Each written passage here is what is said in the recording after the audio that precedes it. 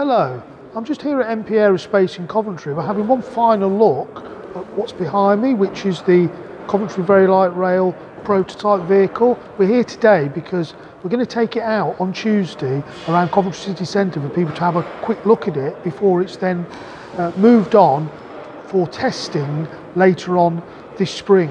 This is really a momentous moment here. This is a work in progress for over four years now, and now we've got a vehicle. We're actually starting to make the prototype become reality. A computer image is actually a vehicle. So exciting day today.